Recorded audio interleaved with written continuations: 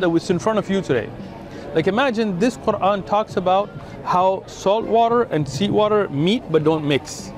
How can a man named Muhammad in a desert who never went out to salt water, right? He had never seen salt water. He wasn't able to read or write. He was illiterate. How would he know that? Talks about the development in the womb of the mother. It's in that flyer, right? How would a man named Muhammad in a desert know that?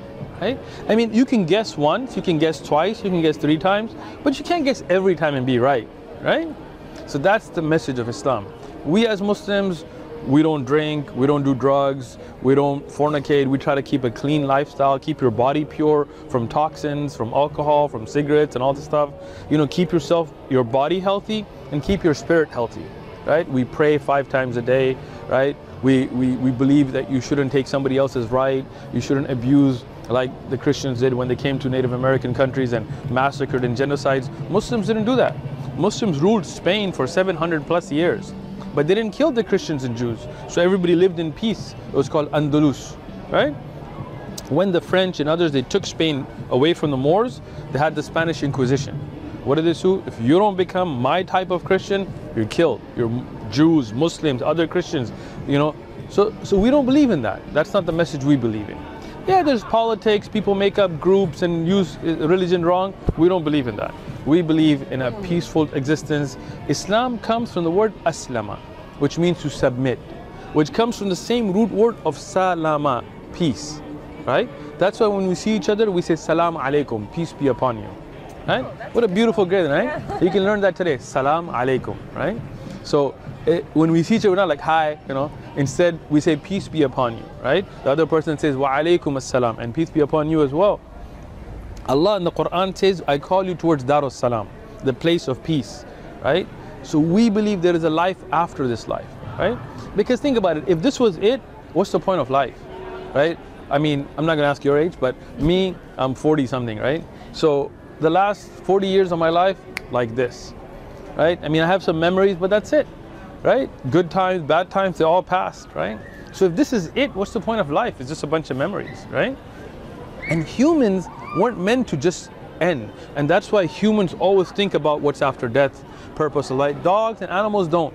You don't see animals develop religious thoughts. You don't see them develop different languages. They have their barking or meowing or mooing and that's it, right? But humans were made for a greater purpose, right? A greater life after this death. And the first step, as you are doing, is to recognize your creator. Who is Allah? Who created me? Why was I created? And then as you get to know Allah, you submit. As a Muslim, that's what it means. That's why we say Jesus was a Muslim. Because he submitted himself to God, right? Not the, the, the fiction that they have made Jesus into today, right? So we believe anybody who submits themselves to the will of their creator, follows the Quran, follows the Prophet of their time, then they are Muslims, right? So what do you think about that? I'm really interested in learning. like, Excellent, excellent. in the big picture, I just want to learn about what everybody thinks Excellent. create like something Excellent. that I believe. Yeah, but I mean, you yourself, right? Don't you feel that there is a creator? Really? Not at all? But think about this, right? As an atheist, how do you think this world in its perfection came to be? Right? Let me give you an example. Like I, I thought about this myself, right?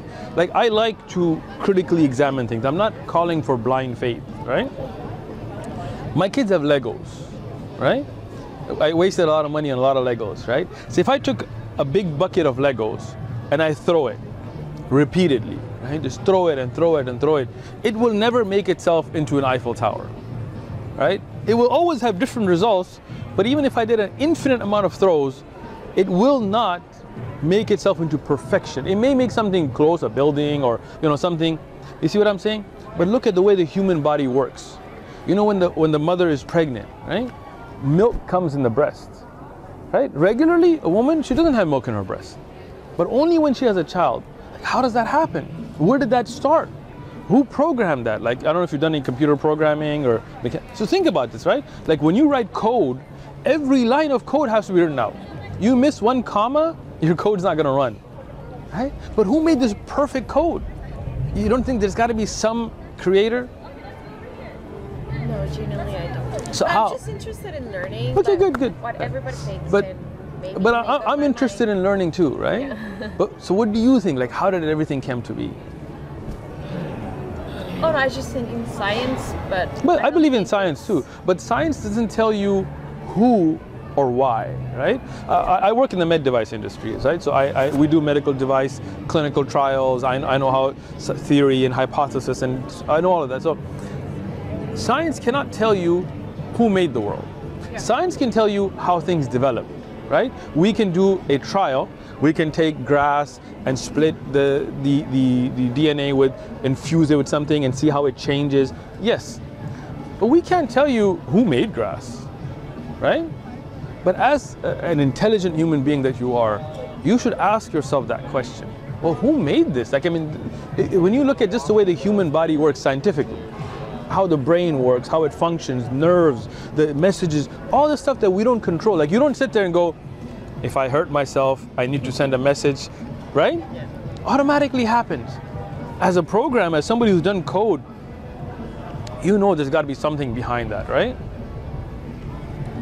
Oh, that's something that I have to give thought Excellent, to. excellent. Think about it. You know, that's the thing with Islam. Uh, We don't force it down anybody's throat. It's just a matter of thinking. You know, take a Quran. It's the actual book. It's all free. You know, read it. Read the Oh, books this one's in Spanish. in Espanol. See, Oh, yeah, better. you speak Spanish too. All right. There's the, we have this in Spanish as well.